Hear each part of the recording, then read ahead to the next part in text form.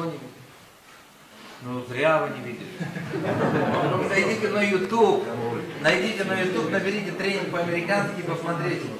Там приезжает в контору, которая продает недвижимость к агентам, приезжает представитель центра, нанятый хозяином.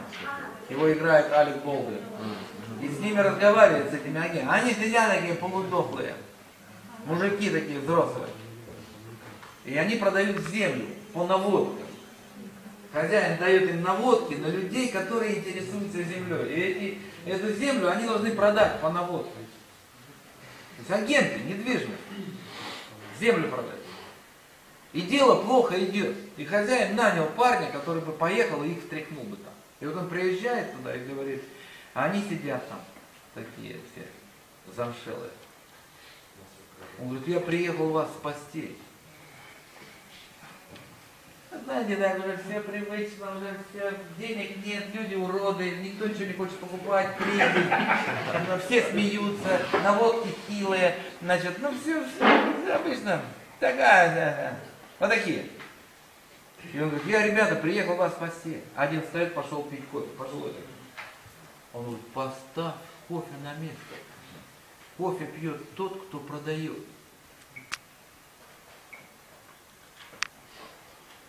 И ты, сукин сын, считаешь себя коммерсантом? А один соскакивает, я эту ерунду слушать не буду. Зря. У меня для вас хорошая новость. Вы все уволены. Тут сразу раз сел. Что, стало интересно? О, как надо разговаривать с людьми, которые занимаются торговлей. Что, стало интересно?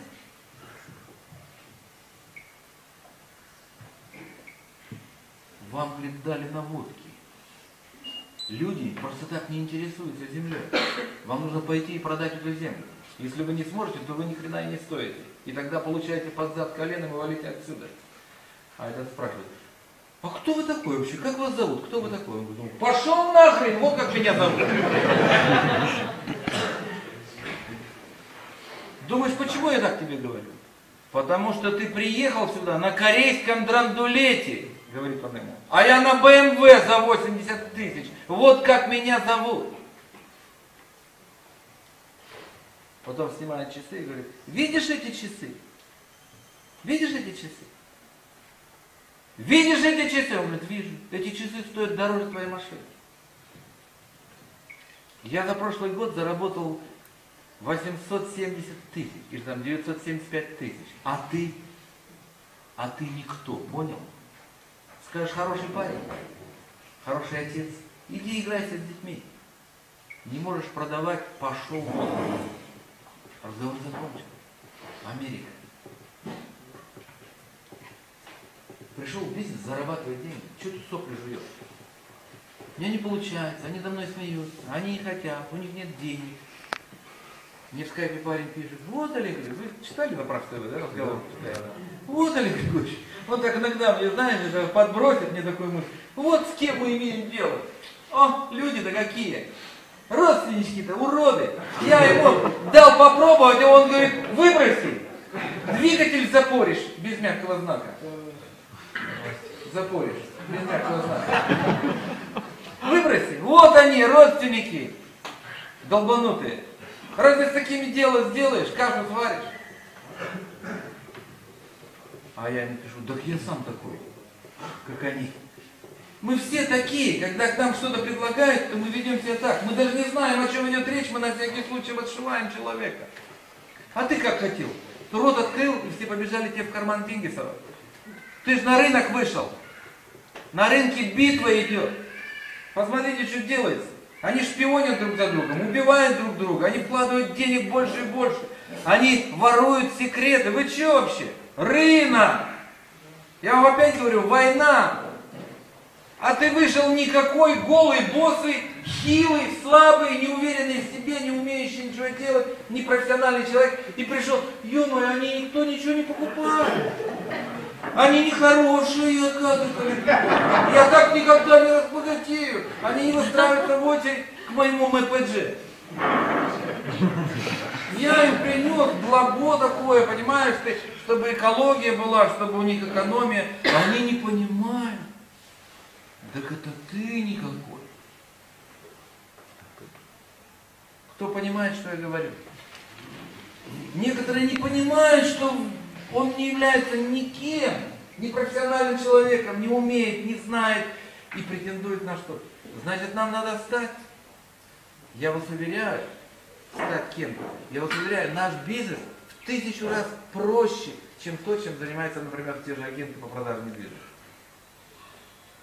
Или в ресторане бизнес делать, или на станции техобслуживания, или шины продавать, или в торгово-развлекательном центре стоять в отделе или поставить в отдел человека своего, накупить товар. Например, часы.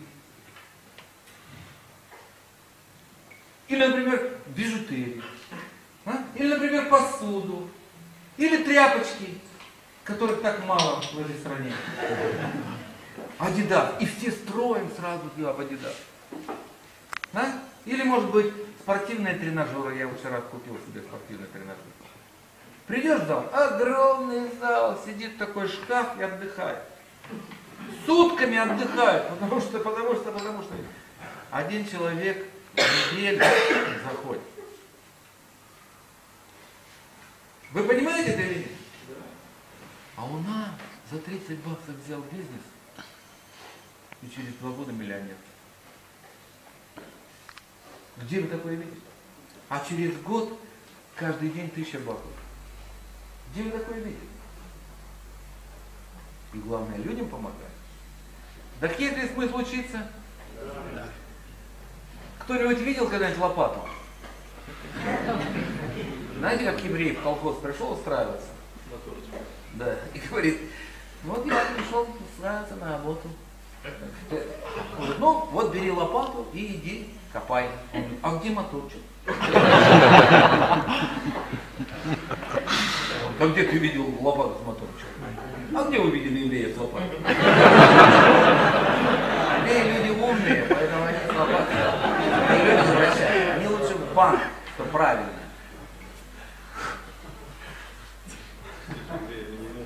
или нет? Зачем нам лопата? Это тяжелый труд. Молодые ребята, вот сейчас я со строителями имею дело, 25-30 лет, они уже полуинвалиды.